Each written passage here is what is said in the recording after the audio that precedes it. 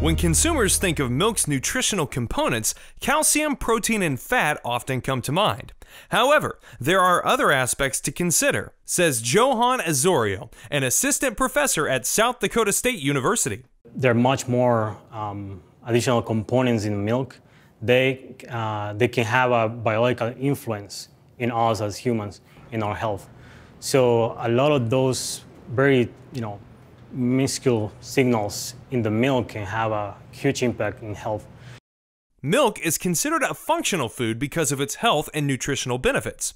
One example maternal nutrition, which dairy farmers know can influence calf health and development throughout their lifetime.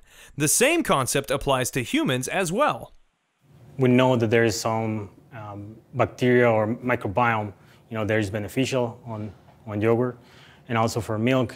There is um, there's some uh, very specific components in the milk that can have an impact on you know, diabetes or any other disease.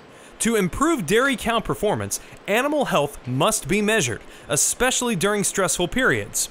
Currently, available metrics such as blood biomarkers and gene expression allow for a closer look at the animal's health and stress levels, which directly impacts milk production.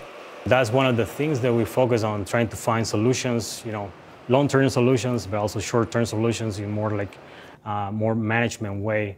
But I definitely can see that uh, you know the future generations they're gonna they have gonna have the ability to kind of adapt to you know the moving uh, the changing market. Throughout his research, Osorio has developed an entire system based on animal health, focusing on molecular biology.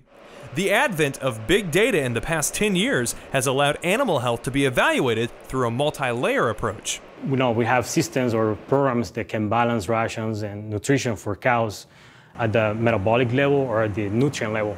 But what we're trying to do is to combine with more molecular-based science so we can have a whole system integrated. Precision dairy farming, which employs sensor systems and activity trackers, among other technologies, can be used to collect data that can be integrated with dairy cow physiology to improve cow health. These, there are no magic bullets. So what we want to try to give the dairy farmer is to give a basic um, framework on nutrition and how he can improve nutrition and health in the dairy farm, but also other tools like sensor system or precision dairy farming that he can apply to catch those cows that do not respond adequately to those recommendations. Osorio's goal, by developing a molecular based approach to animal health, is ultimately to make dairy producers more profitable. You know, there's a lot of opportunities in the future that we can have a very specialized market for different types of, you know, uh, milks for tackle on a specific disease or, or, or problem in human health. For Holstein Association USA, I'm Miles Ramsey.